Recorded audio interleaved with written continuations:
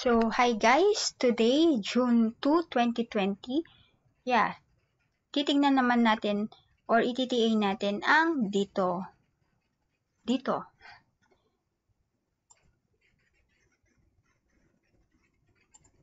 So, actually, na-TA na ata natin to kahapon, kaya meron siyang mga ganyan um, arrows. So, check na lang natin yung price action and ibang indicators niya ngayong araw.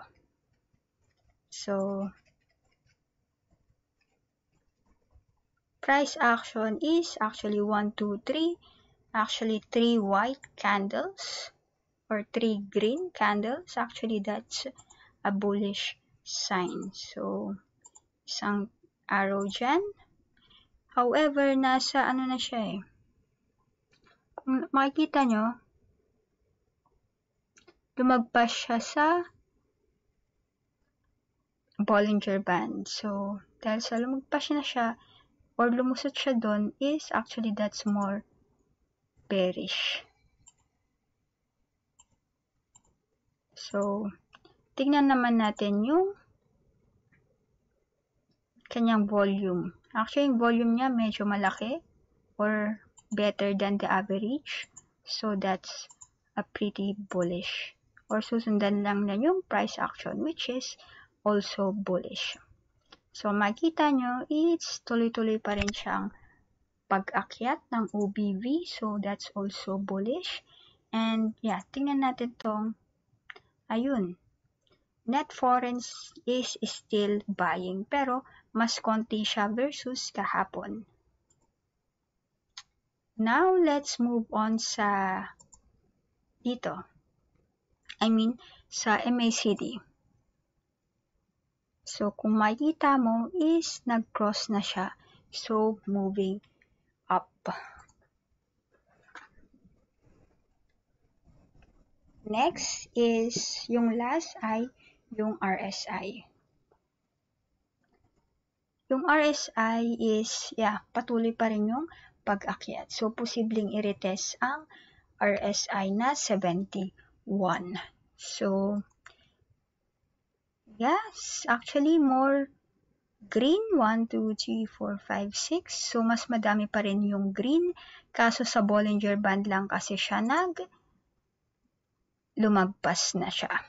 So, yun lang yung only pababa or bearish signal. So, dahil lumusot na siya yung sa first resistance na tinitingnan natin at 2.40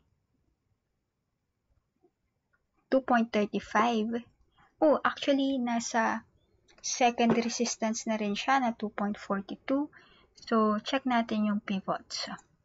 So saan na siya next? Possible na resistance.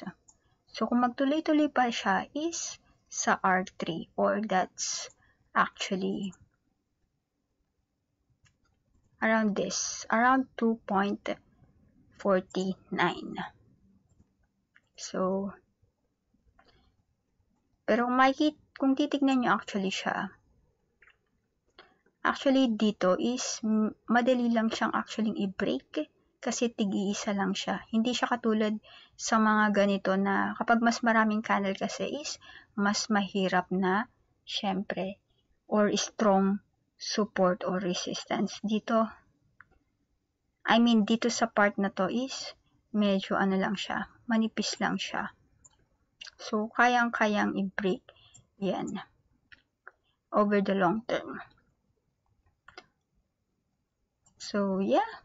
Let's see. So, makikita nyo naman is almost yung signals natin is almost all green except sa Bollinger Band na yun, naging lumagpas kasi siya sa Bollinger Band so it's actually a more bearish signal. Kasi kapag lumagpas siya is supposedly mag or bumalik siya to trade within the band. So, there you go guys. Ang next support natin is 250 or around 249. So, ilan ba yung points niya or 0.10? Ang inakyat niya pala ngayon ay point 10. cents. So, kung akyat ulit siya ng 0.10 cents, that's 252. So, yeah. So, watch out na lang for possible resistance na 250. And, yeah. Kung sakali man is medyo 263. Pero, wait, check natin yung ano ah. Check natin yung kung kamusta yung ano Dow Jones. Actually, going up naman siya. So, yeah, might possibly also yung PSE bukas ay posibleng umakyat pa. So, at saka tingnan mo kasi yung kanyang ano, pattern. Um, three white, I mean three green candles, which is actually um, a bullish signal. So, there you go guys. Ang resistance natin is around 250. So, kung lumagpas pa siya doon, is of course to possible resistance at 263 or 264. So, support at 2.16. So, there you go guys. If you have some comments, questions, and feedback, please feel free to reach me out. Thanks guys!